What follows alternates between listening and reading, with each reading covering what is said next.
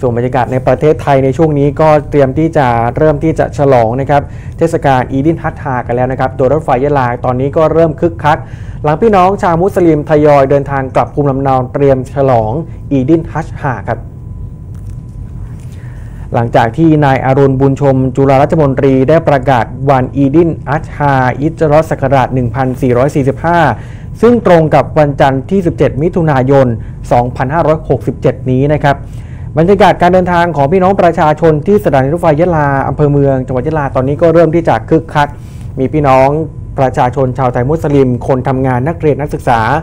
ที่ไปศึกษาต่อยังต่างจังหวัดรวมไปถึงคนหนุ่มสาว ที่ไปทำงานในพื้นที่ภาคใต้ตอนบนและภาคกลาง ที่ใช้บริการรถไฟขาขึ้นขาล่อง ก็เริ่มที่จะทยอยกลับภูมิลำเนาเข้ามาในพื้นที่จังหวัดยะลานะครับในพื้นที่ใกล้เคียง รวมถึงเดินทางออกจากพื้นที่จำนวนมาก เพื่อเตรียมเฉลิมฉลอง